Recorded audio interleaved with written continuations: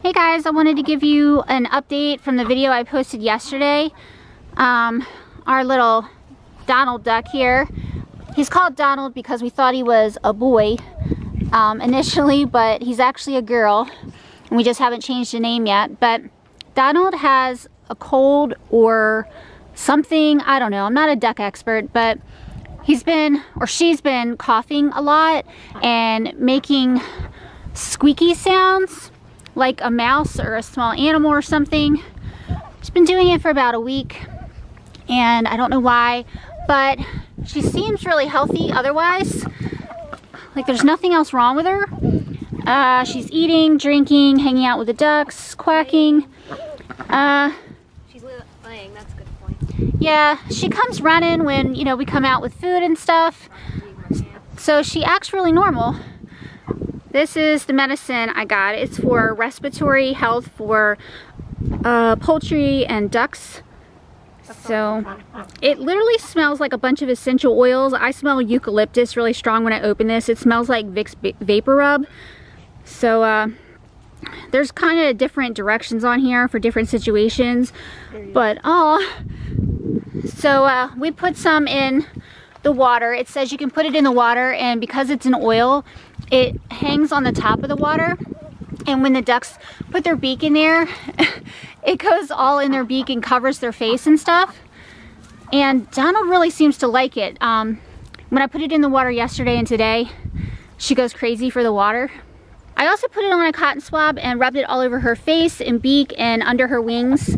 It said uh, you should warm it up and kind of rub them down with it and I guess having that smell in their face helps clear their their nose up. I don't know, I'm talking stupid right now, but hopefully it works. It does smell like Vicks Vapor Rub, so if it makes people feel better, maybe it makes ducks feel better. Uh, she did wake up and was making that sound again this morning, but not as bad as it was yesterday. So maybe it did help a little bit yesterday and she just needed more than one dose. But yeah, as you can see, she looks really healthy. She's just making that sound. And I wasn't able to get her on camera doing it this morning because like I said, she wasn't doing it that much. But if I catch her doing it later, I'll try to film it. You just never know when she's going to do it. I'm gonna see if there's any eggs in their coop right now. We have it covered up with this tarp because I haven't painted the coop yet and I wanna protect it from the rain and not um, you know, get it all wet and stuff. But eventually I'm gonna paint it and make it pretty and, you know, more waterproof. But that's how their coop looks right now. So as you can see here, there's a little duck nest with two eggs in it. We've been getting two eggs every day for several months now. And Donald is the one laying the eggs. I caught her doing it. Yeah, they, they've been chasing the dog. Well, Daisy does. Daisy Although she's named Daisy, she's a boy. Uh, I won't tell you how I found that out, but she's definitely a boy.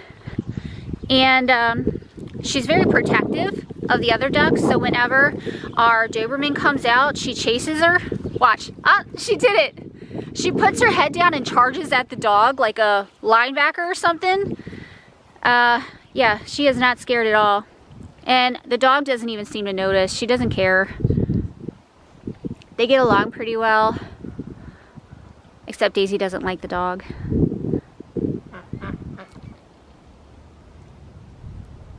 What are you doing, duckies? Roxy, they're leaving you.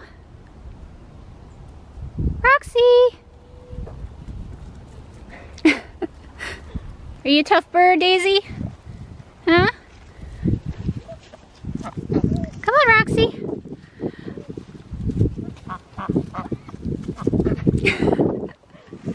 there, she just did it again. It is really cold out here.